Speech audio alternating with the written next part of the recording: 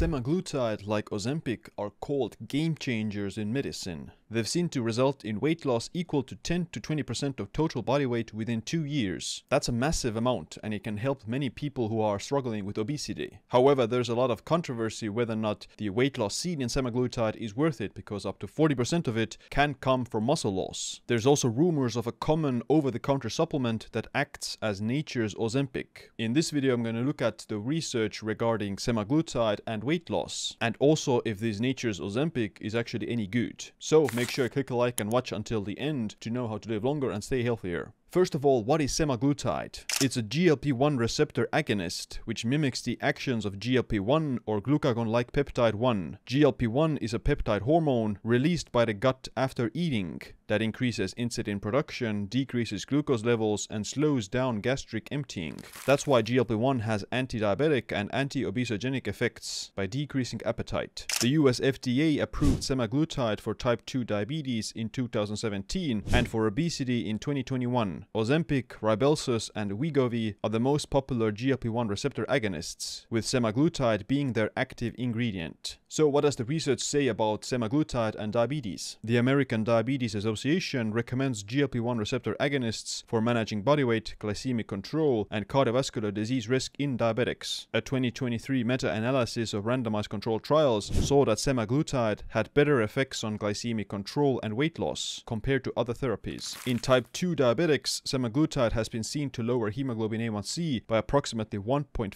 GLP-1 receptor agonists have been seen to reduce all-cause mortality by 12% and major adverse cardiovascular events by 14% in type 2 diabetics. But what about weight loss? Semaglutide has been found to be effective in weight loss compared to placebo in several randomized controlled trials. It's more effective than previous weight loss medications, but not more effective than bariatric surgery. A 2021 randomized controlled trial saw that people taking semaglutide lost on average 15% of their body weight over the course of 68 weeks compared to the 2.4% of placebo. Another 2022 study found the same results, but over the course of two years. In a 2022 double-blind randomized placebo-controlled trial, injecting 2.4 milligrams of semaglutide once a week, plus lifestyle intervention in obese or overweight adolescents, resulted in a significantly greater reduction in BMI than lifestyle intervention alone. The semaglutide group lost 16.1% of their BMI, whereas the placebo group gained 0.6%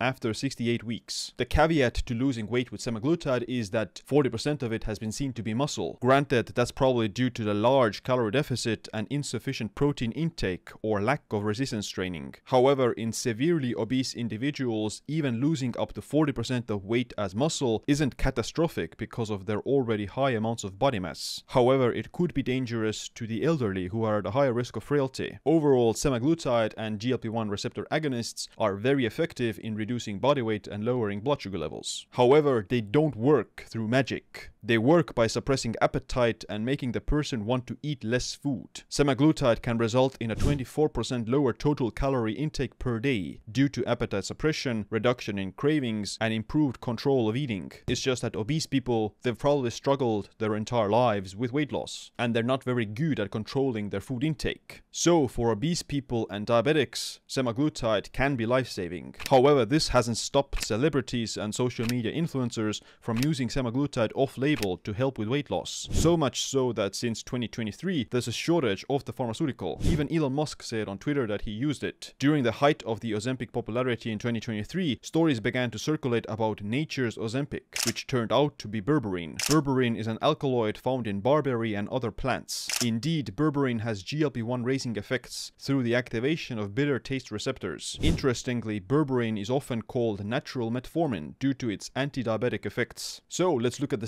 about berberine. Two meta-analyses of randomized controlled trials from 2021 and 2022 saw that berberine is effective for lowering blood sugar levels in diabetes as an adjunct therapy. However, a 2021 meta-analysis of randomized controlled trials concluded that berberine alone isn't superior to metformin in lowering blood sugar, but combining the two is safe and efficacious. So berberine isn't better than metformin in diabetes management, although they work through similar pathways. For weight management, a 2020 meta-analysis meta-analysis of randomized controlled trials found that berberine supplementation significantly reduces body weight, BMI, waist circumference, and inflammation levels. Berberine was seen to decrease body weight by 2 kilograms, waist circumference by 1 centimeter, and BMI by 0.47 points. That's like pennies compared to the 10 to 20% weight loss seen with semaglutide. So berberine isn't better at weight loss than semaglutide either. Yes, berberine has GLP-1 increasing effects and it has anti-diabetic effects, but it's not nearly as potent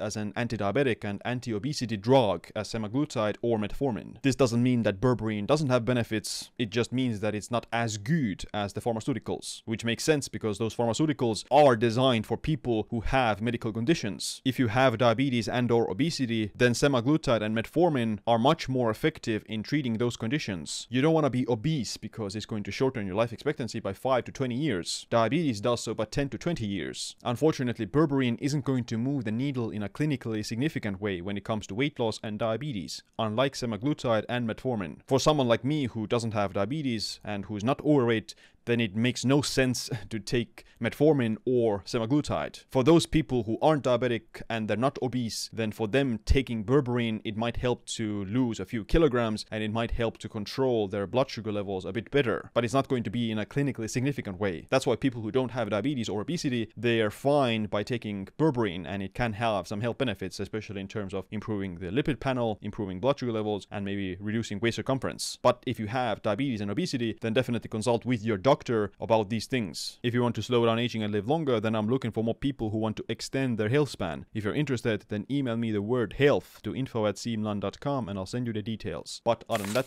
thanks for watching this video. Make sure to click a like, subscribe, notification bell as well. My name is Siim. Stay optimized, stay empowered.